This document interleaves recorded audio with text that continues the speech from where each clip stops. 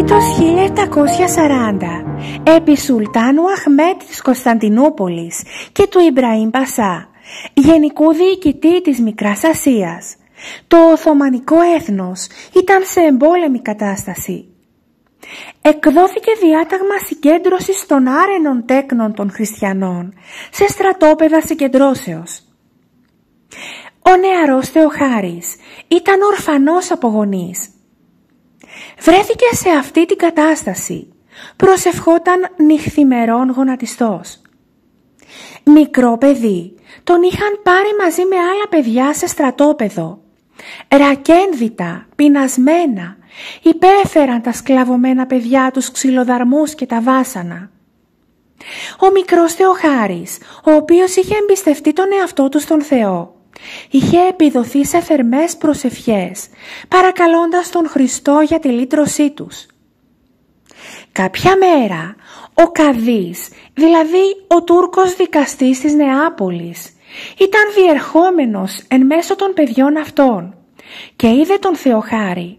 Του άρεσε και τον πήρε για δούλο στο σπίτι του, όπου του ανέθεσε να περιποιείται τα ζωάκια του. Μετά από λίγο καιρό, ένα βράδυ, η σύζυγος του Καδί Εφέντη βλέπει τον Θεοχάρη να προσεύχεται γονατιστός με υψωμένα τα χέρια του. Το ανέφερε αυτό τότε στον σύζυγό της και αφού το συζήτησαν αποφάσισαν να τον κάνουν γαμπρό και κληρονόμο τους.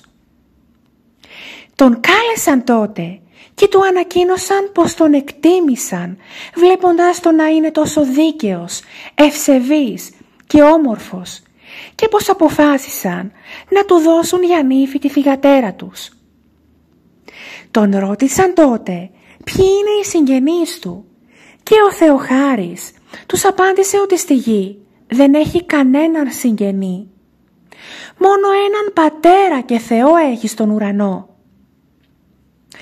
Τότε ο Καδής του είπε ότι θα τον κάνει γαμπρό του και κληρονόμο του, με τον ορό όμως να γίνει μουσουλμάνος. Θεοχάρη, θα σε καταστήσω κύριο της περιουσίας μου ως γαμπρό μου και θα κερδίσεις πολλά χρήματα.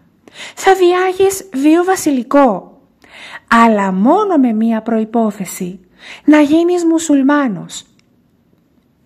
Ο Θεοχάρης απάντησε «Εγώ αφέντη, χριστιανός γεννήθηκα, βαφτίστηκα και δεν μπορώ να αρνηθώ την πίστη του σωτήρα μου και των πατέρων μου.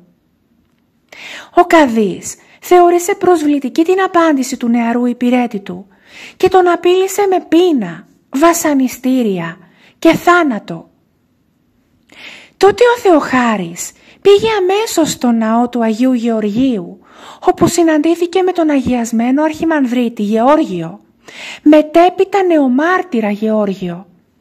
Εξομολογήθηκε και μετέλαβε των αχράντων μυστηρίων. Ο πνευματικός τον συμβούλευσε να προσεύχεται και να διαβάζει την Αγία Γραφή. Τέκνον, προσεύχου εις τον Θεόν, ανάγνωθη την Γραφήν, διότι ουδής εκτός αυτού δύναται να σε λυτρώσει εκ του αγαρινού.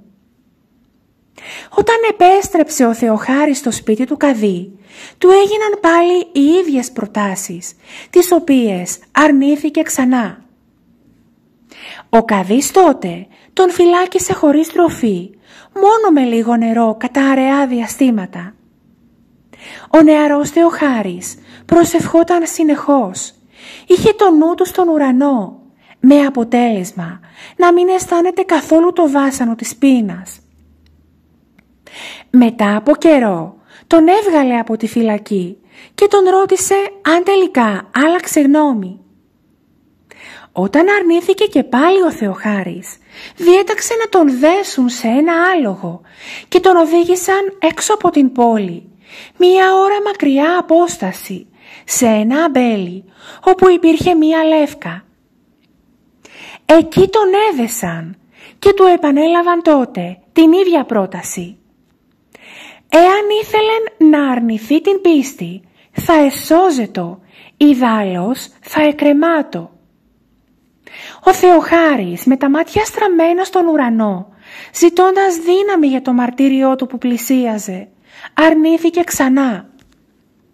Οι δήμοι, θεωρώντας την προσευχή του ως εμπεγμό, τον έδεσαν από τον λαιμό και λιθοβολώντας τον, τον κρέμασαν. Στη συνέχεια τον έθαψαν εκεί μπροστά στη Λεύκα. Τότε ο ουρανός σκοτίστηκε και ήρθε μεγάλη καταιγίδα με βροντές και αστραπές, ώστε το απόσπασμα των αγαρινών να αποπροσανατολιστεί και να παρασυρθεί από το ρεύμα των υδάτων. Οι κάτοικοι της Νεάπολης απορούσαν με την ευνίδια αυτή οργή των στοιχείων της φύσης, καθώς ο καιρός μέχρι εκείνη την ώρα ήταν έθριος και είχε ήλιο. Η δε σύζυγος του Καδί τον επιτιμούσε λέγοντας «Σας είπα ότι αυτός ο νέος, ο Θεοχάρης, ήταν Άγιος και δεν με ακούσατε, γι' αυτό έγιναν όλα αυτά». Τα παραπάνω έλαβαν χώρα στις 20 Αυγούστου του έτους 1740 στη Νεάπολη της Μικράς Ασίας. Ήταν δε μεσημέρι όταν ο Άγιος Μάρτυρας παρέδωσε το πνεύμα του. Εκείνη η Λεύκα ονομάστηκε στα τουρκικά Κανλή Καβάκ, δηλαδή η Λεύκα του αίματος. Για μεγάλο χρονικό διάστημα, όταν κάποιος έκοβε ένα κλαδί από τη Λεύκα, έτρεχε αίμα. Μετά την πάροδο αρκετού χρόνου, εμφανίστηκε στον ύπνο μιας ευσεβούς μοναχής και ζήτησε να του κάνουν ανακομιδή των λιψάνων του σε χριστιανικό τόπο, πράγμα το οποίο έγινε με τη συμμετοχή όλων των κατοίκων της Νεάπολης. Με την περιβόητη ανταλλαγή των πληθυσμών το έτος 1923 τα ιερά λείψανα του Άγιου Νεομάρτυρα Θεοχάρη μεταφέρθηκαν στη Θεσσαλονίκη και τοποθετήθηκαν στον Ιερό Ναό της Αγίας Εκατερίνης και έγιναν πηγή πολλών ιάσεων και πολλών θαυμάτων. Εκείνη η Λεύκα όπου έγινε τόπος μαρτυρίου για τον Άγιο Θεοχάρη. Εκείνη η Λεύκα ήταν που κατέστη προσκύνημα χριστιανών και μουσουλμάνων. Και από αυτήν τη Λεύκα πηγάζουν πάρα πολλές ιάσεις, πάρα πολλά θαύματα.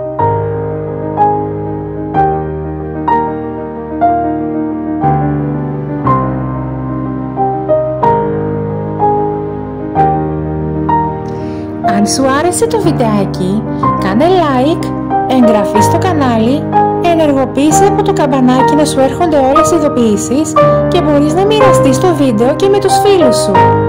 Ο Θεός και η Παναγία μας μαζί σου.